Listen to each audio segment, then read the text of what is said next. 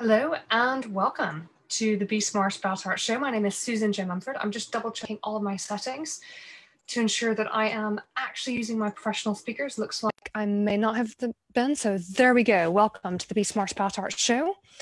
It is my pleasure to be welcoming you today on the session that addresses each and every week what is happening in the art world. And this week, I have got three quite, I think, um, well, they're always informative, but they're this this week they are yeah they're there's the finishing piece of news I've got for you is just good old fun, and might even include yours truly. Uh, the other two pieces of news are really looking at what's happening with the art world in the pandemic. So we have got one piece by Artforum, which is continually being updated. I have only recently come across this myself, and I really thought that readers of our social media channels and watchers of this of this program would really enjoy being able to see that.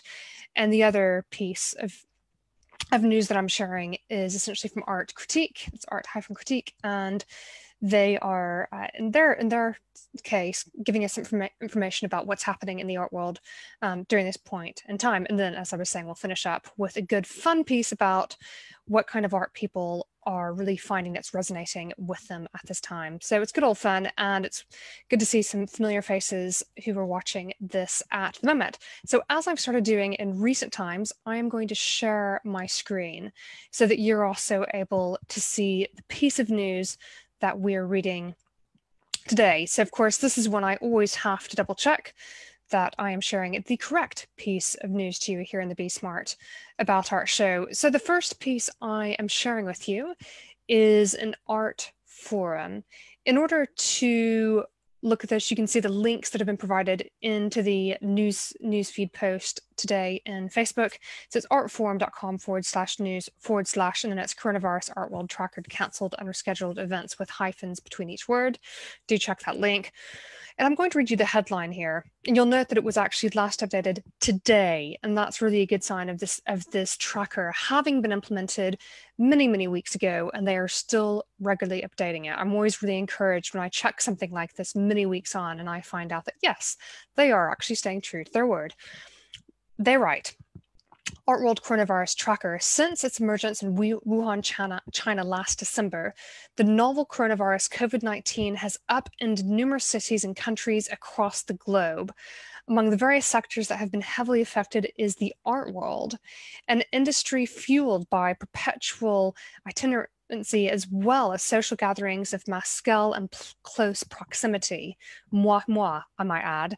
As the public health crisis escalates, arts organizations have shut down events, have announced postponements, or are carefully trying to trudge forward. I would say increasingly trudging forward with new and different ideas. And as we've seen in this very program, some new online galleries emerging.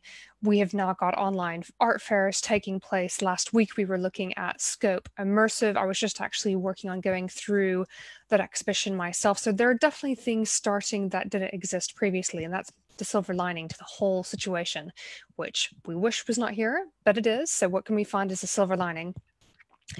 And they continue. Here is a continually refreshed list of major events and institutions that have made such decisions due to the virus, as well as a list of resources for artists and art institutions impacted by the pandemic. I do encourage people to share news of this because honestly, as I was saying, I hadn't come across this yet. I was doing a new search today looking for what's the news in the world, what's happening. I was using different keywords than normal, and I just had not come across this previously. So, I mean, I think this is incredible. Um, here we go. So, rescheduled events, Venice Art and Architecture Biennales. I'm reading some recent news here.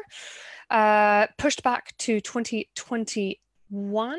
Um, the Art Biennial will be held from April 23rd to November 27th, 2022. Um, so yeah, it's actually that one I had read about a week ago, I would say. Expo, so not actually happening now until a year after it was planned. I mean, that is some forward thinking, I must say, too. I guess with the Venice Biennale, uh, you really think about how much planning goes into those spectacular exhibitions, and they just couldn't risk uh, thinking that something was going to be happening next year. Um, but you can see that the architecture one is next year and the art one is now 2022. So that's the distinction between those two. Expo Chicago, which that was the same Chicago event that I attended that my gallery participated in a satellite event alongside it many years ago. I think it was that one. Um, the annual art fair originally to take place in September will be postponed to April 2021.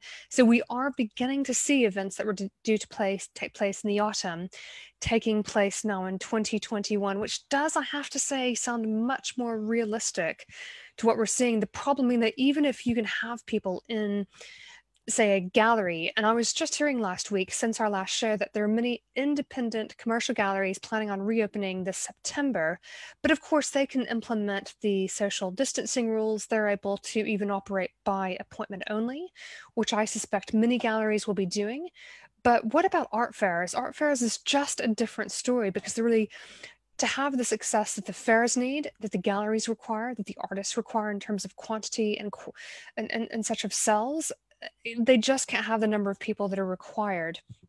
And it would be too expensive to run and to participate if we were doing this at this point in time. So i can understand that that fairs are beginning to go ooh let's not take place this september but next spring. And anybody from an art fair that's listening to this maybe that's something to see as well and note. Sydney contemporary it was originally scheduled for September 10th. It's now taking place September of 2021. So that one's been delayed by an entire year. And indeed, I think that that, that brings up another point, which is one thing that we were hearing people saying when events this spring, as in spring of 2020, were initially being postponed to autumn of 2020, a lot of people were going, but wait, how on earth could you squeeze more into the calendar when it was already so busy? And I think that that's a very fair point. They were saying, well, certainly it's the case it's not like there are going to be more collectors so why would it be helpful if, if you crammed more events into it? So honestly sydney contemporary two thumbs up for just saying listen we're going to take place an entire year later. I think that that is smart. And paris biennale that's going to take place la paris biennale uh, in september of 21 so that's been arranged again to take place in 21. I mean, this is interesting. And you start carrying on and on and on. And you've got some things that are really being planned much farther into the future now. You're seeing a lot of these events as I scroll through, so you can have a look at them gently as we go. A lot of events now not taking place in 2020 at all. I would say here we are at the beginning of June and we're really beginning to see a quite significant change in the calendar, a, a, change that we weren't seeing even three weeks ago. Now, needless to say, people, these organizations have been working on this, they've been planning. I know from an event I held on what actually turned out to be the very day that the UK started its lockdown on the 24th of March, I planned back, I, I decided back on February 23rd, February 24th to move an event from being in person in Mayfair to being fully online. It took us still 10 days, two weeks to actually get all the changeover, to get the event set up, to get it all done in order to then communicate it. So, whenever you see an announcement like this, know that the people behind it have been have been really just just going round and round just the wheel's been going round and round getting everything in place in order to make those announcements and of course some staff have been furloughed you won't have the teams available that you normally would for for, for putting together the ideas the announcements for communicating. So in many cases sort of much smaller teams of of staff are able to even announce these changes. So it's a very different time. And i know something that jumps out in here that i certainly am very very familiar with that has a great reputation for many artists and galleries in the UK is Art Brussels, originally scheduled for June of 2020, so that would have been this month. The fair will now take place from April 22nd to April 25th, 2021. And when I look at these pieces of news, I do try to read into them to go, okay, well, hang on, what do I think is taking place here? And something that I see in that one is that it might be that that's the only event that takes place in terms of quote unquote Art Brussels. I wouldn't expect that they would be holding an Art Brussels art fair from what what are the dates? Uh, April 22nd to April 25th, 2021, and then again in the month of June. That's too soon. That's maybe a kind of six, seven week lag in between the two events. In that case, what I read into that is that it's likely to do with availability of venue. If you think about even some musicians who are having to rearrange their tours, uh, one of the musicians who I have been watching some of the live sessions for is Nerina Pallot, and where she had one tour planned, the next available dates was kind of late spring, if I remember correctly, for for, for next year. And so, so some of this is going to be down to some of the dates are going to be determined by what is available. And you can see now this is actually, this was announced a bit earlier, June Art Fair Basel, Switzerland. The 2020 edition will run from September 14th to December 20th. We don't know if that's going to take place or not. Uh, you've then got the Liste Art Fair, Switzerland, Art Basel, Switzerland. These are all events that take place take place at the same time with Art Basel being the mothership art fair. Will they really take place in September? Only the future will tell. So there we are. What what are we distilling from that? I think that what we are distilling is that you've got organizations making very important changes. Uh, they're being realistic as well, recognizing the requirements of these big events. That even if let's say the event could go on that they would have to let in so few people that they just wouldn't make sense to take place. So they're really having to balance out the want of the galleries of the artists to carry on with with reality that actually this is a different world and until there's a vaccine and it's going to be very difficult to do these big events. One of my questions is how are the how are the art fairs going to survive? So only again the future will tell but let's move on to the next piece of news. And this now i had not read this before and i thought it was worth looking at something different okay? So here we are on the website of art critique. It's www.art-critique.com so we've got here the Art World Roundup working it through the pandemic.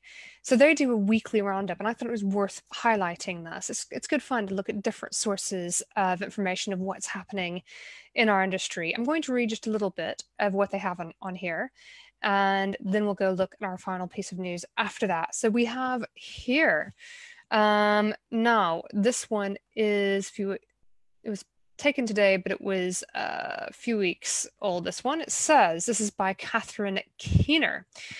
Uh, for this week's Art World Roundup, we look at the ways individuals and organizations are uniting to tackle the issues around the COVID 19 pandemic, an auction offering unique experiences to support the International Rescue Committee. So that brings in this idea, and this is one of the reasons I like this piece, is thinking about what good causes you can support in the efforts that you're making at the moment a really genuine way that reinforces your own your own value set. So that's going to be something that is not already important in business today. But particularly at this time so i am in conversations with some individuals about who might be putting on say an auction in the next couple of months. And if they go ahead, they definitely want to be supporting a good cause. So here you go. That's one good example. This says Google and Sotheby's have teamed up to present the Mayday COVID 19 charity auction, an event that will auction off unique online experiences to benefit the international rescue community, a charity working to mitigate the efforts of the pandemic in some of the hardest hit places. Included in the auction lineup are a number of incredible opportunities. Uh, and I remember reading about this. Uh, politically minded, you could get the chance to have coffee with Hillary Rodham Clinton, um, or an online chat with Madeleine Albright. Madeleine Al- Albright being just this incredible mind. She was the first female US Secretary of State. I recently watched an interview with her, and she, I mean, she is, I think, in her mid to upper 80s or so, and she's just got an amazing mind and then the art's more your thing, bid on the opportunity to get acting pointers from Sir Patrick Stewart himself, record a song with Sting, or pick the brain of interior designer Jacques Grange. Other experiences include a private virtual tour of Highclere Castle, best known to many as the fictional Downton Abbey, and a conversation with Apollo 9 astronaut Russell Schweickart. And isn't that a great moment to be saying that? We've just had a successful uh, mission launch into outer space with astronauts now on the International Space Station that happened over the weekend. And, and then you've got more examples here, uh, with, with funding good causes. FotoFocus Nix's 2020 by, uh, to provide arts community founding. But based in Cincinnati, FotoFocus is a not-for-profit that has supported photography and other lens-based art forms since 2010. Part of their programming includes a Biennale that has become the U.S. largest photography-based art fair.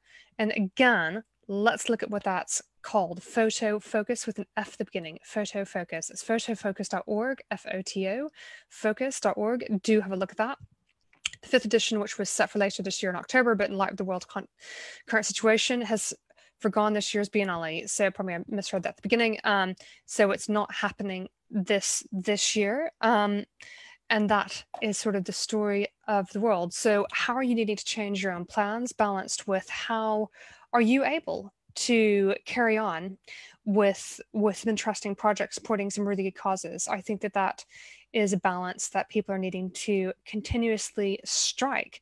And now, for the last piece of news this week, I think it's quite fun. I suspect the part of the reason I chose this is I thought, well, this is the kind of thing, um, should be on the top there. Uh, this is the kind of thing that actually we would have selected anyway. And I thought, well, in that case, let's go ahead and choose it. And it just so happens that I am on the list myself. So ArtNet News, and I and I really wanted to finish with this piece thinking about how journalism happens, how people end up getting featured in the press. This is an excellent example of something. So yours truly is in this piece it's titled 23 top collectors, artists, and dealers tell us about the artwork that is keeping them inspired at home. And the sub title is We asked Art World Heavyweights to tell us about the artworks that are bringing them joy at home. So that was published on May 27th last week. So in December of 2019, I got to know an ArtNet News journalist named Sarah Cascone. And now, Sarah, I have read various pieces by her. She's been one of the authors of various pieces that I have read in this very program. So she was the moderator for a panel discussion in which I participated at Art Miami during Miami Art Week and that's first well actually i think we we probably met at an event in miami right before that event took place. We got to have a quick chat. Then we met each other at the panel discussion itself. And then i arranged for her to do a talk in new york a, a few months later. Actually it was the last event of one network before the pandemic made everyone uh, participate in the lockdown. So sarah and i got to know each other and what clearly happened so these these big publications, what they do, so ArtNet News is, be, is completely online. It's known as one of the top handful of publications specifically for the art world and art market. And and so they clearly they, they have regular staff meetings. They will they will talk about uh, what kind of news pieces they're doing. And they came up with this idea to invite various people in the art world to say what works of art are inspiring you when you're there at home you're having to you're having to be in front of these these artworks so much surely your surroundings are kind of they're impacting more than ever before uh, what is really speaking to you so so they reached out the journalist selected who they wanted to talk with and they invited those in, those individuals who have appeared uh, to submit a piece. Now, it's not to say that they did not approach pe- more people. There might have been individuals who were too busy to respond, who didn't see the see the piece, um, her, or for whatever reason decided simply not to participate. So we've got here a total of 23 top collectors, artists, and dealers. But did how many people did they approach? I don't know. And interestingly, when I very first saw this piece, actually there were tw- they had 20 so they actually updated it with new material on the same day that it was published so sometimes that tells me sometimes there are updates to these articles which i didn't realize i thought they were published and that was it and uh, this definitely went from 20 to 23 on the day and what's so fascinating to think about is how it took place it's not as if I had approached the journalist and say, Hey, I would really love to do this. She came to me and think about it in this way. Are you ready? This is a top tip when it comes to getting press in the art world. We were providing, as in the 23 people are providing the content for the piece. This is a really smart way of creating a journalistic piece. And not only that, because they've got 23 people all with different networks, all with different social handles, etc., etc. So we've provided the visuals, we've provided the text, we have also shared it a lot as well. So suddenly, ArtNet News has got this piece that involves 23 different people, all of their networks, and we've done the writing for them. Of course, they did some editing down. But that's so smart and it's so much fun. It's a collaborative piece. So I think on so many levels, this was a great piece and it exemplifies how these articles come about. You keep people in your network, you, as much as you possibly can, you essentially maintain dialogues with them. And the truth is that the journalists are extremely busy. It's not as if Sarah was regularly hearing from me. Uh, she thought about me in, in terms of she thought about me for for including in, in this piece. And that was very, very kind of her. So I'll show a few different uh, excerpts from the piece. And I'm just going to scroll along here. Now that is Helen Toomer, her partner slash husband and their son. And I do know, I do know Helen. She used to run some art fairs in New York and Miami. She at one time had a gallery as well, and now she runs an artist residency program. And you see Monique Meloche, an art dealer, uh, who I have met. She's based out of New York, the last that I knew. So there we go. So you can see some nice visuals coming along. You've got Katie Stout as well. Katie is an artist. That's a fabulous piece. That's really, really good fun. And then you've got Marcus Raymond. So just scrolling along here to give people a kind of feel for this. I'm going to stop on one particular one before we get to myself as well. Uh, then we get to Javier Perez, who is an art dealer.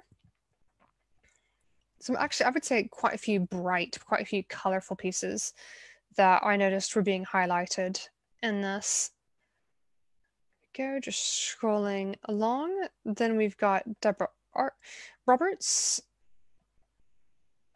That's quite lovely as well, isn't it? And then that's a, that's an older piece actually. That's from 1990. Okay, here's who I wanted to highlight: Mariane Ibrahim, art dealer. Uh, you can see marianeibrahim.com, and that is clickable. So hyperlink. Now, Mariane, I she she started um, she started out of one city in the States. I feel like I know what city it was, but I don't want to get the story wrong. What I will say is that she started in the Midwest and then uh, she personally moved to New York City. I met her when she was exhibiting at an art fair in London, and I think that would have been in 2018. I don't remember if it was at, was at Somerset House. It was either Photo London or 154. I don't know which of those two fairs it was. And here's what she says. So the piece that she's highlighting, that's Gerald Gibbs. It's called Turner 2019. And that's Mariane's home. And this says Turner is the title of a painting by Gerald Gibbs. This was the first piece my husband and I bought before any representation. It was love at first sight. The painting reminds me of The Thinker by Rodin. Let's look at that. The Thinker by Rodin. I can see that. During these difficult times, it is important to reflect. I sit in front of this man, seated on the green couch every morning and contemplate. So I presume we are seated on the green couch looking at this piece right now. The longer I stare at the work, the more the work comes to life. And so it's really fun and various little snippets in this article. You're able to get these personal insights. I mean, it's just really, really lovely.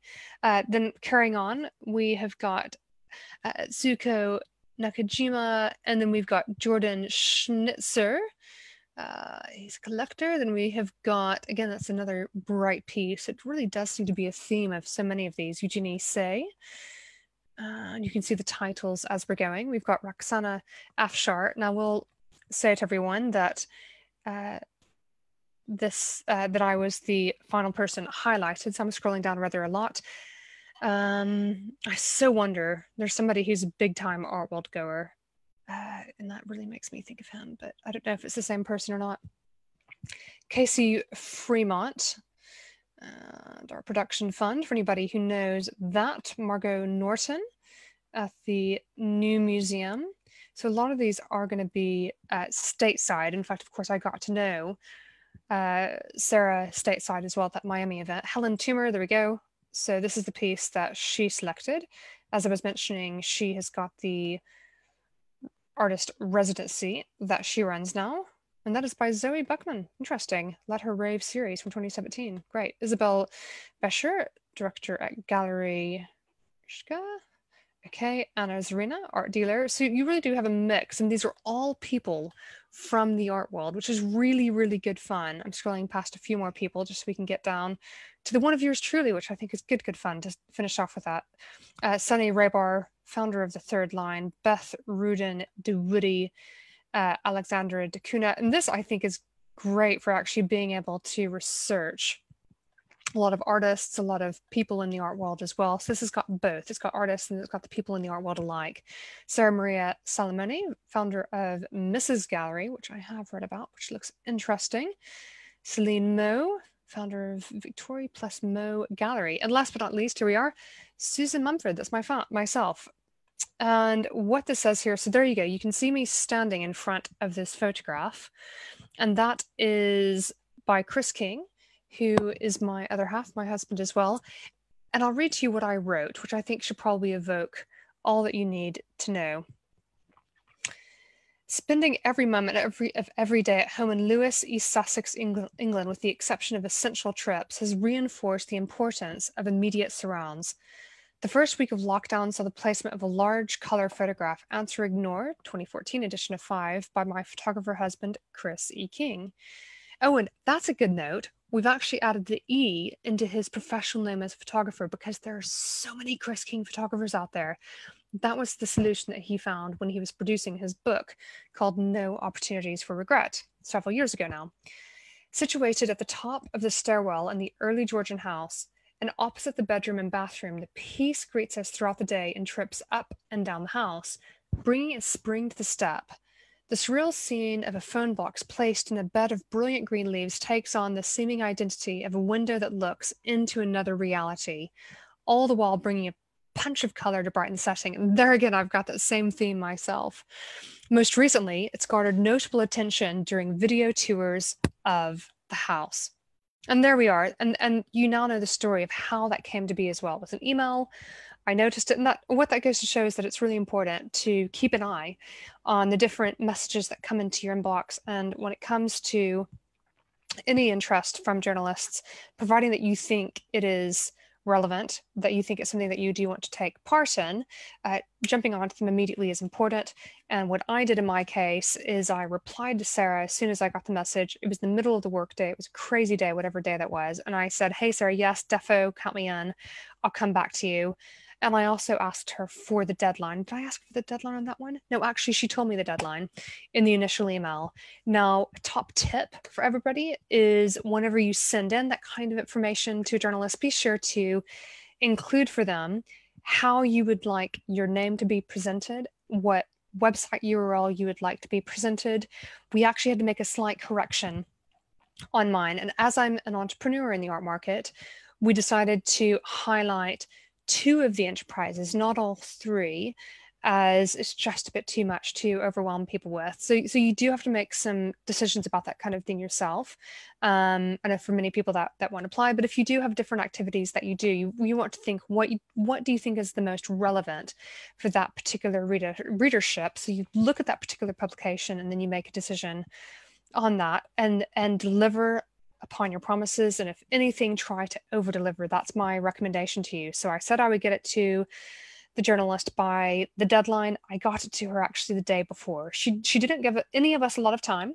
We had a couple of days to do it, but I got it to her. I think it was the next morning. Um, and that's just really important to to think about how busy those journalists are. I mean, she was not really replying to me when she replied to me, which was very thoughtful her and, and not necessary, was to say, "Hey, it's not been filed. Filed. They're expecting it to go live the next week." That was really really kind, but you will often find that you need to have on Google Alerts in case your name ever does come up in the press because journalists don't necessarily tell you. When my own gallery got number one exhibition of the week for our inaugural exhibition back in 2006, it was only because the collector friend of an artist I know said to the artist, Hey, it was great to see Susan in the Times. And the artist mentioned it to me, and I said, What on earth are they talking about? And there I was. The exhibition wasn't number one of the week. So yeah, you you can end up in the press and not know. Thankfully, in today's world, we've got Google Alerts and other systems that we can use to flag up those things. So all really helpful. And you never know when some kind person who you know might think, you know what, the work that you're doing is incredible and your name deserves mention. But if they're busy, they might not think to reach out to you and to say, hey, I've suggested your name for X. So be aware of those things. Everyone, it's been an absolute pleasure to have you on today's Be Smart About Art show, as ever. I look forward to seeing you online in future events as well. Uh, do keep out your eyes for updates on our upcoming shows. This week, we'll be running, of course, our Tuesday and Wednesday shows at the same time. Do catch our replays over on the Facebook page. So that's going to be Be Smart About Art. Sorry, facebook.com forward slash Be Smart About Art and join our members community at patreon.com forward slash Be Smart About Art, where a lot of action is taking place. As we say, participate, connect, and grow. So you participate in the, con- in the community, you connect with others, and you grow personally and professionally. If you're not able to invest in the community at this stage, it's $7.50 a month. Don't worry, that's completely fine. You can continue to enjoy our online, freely available resources. We do say as our motto that we're here to help you thrive in a changing art world, and isn't that true today? I look forward to seeing you again in the future. Starting out from Lewes in East Sussex, I've been Susan J. Mumford. Thank you very much.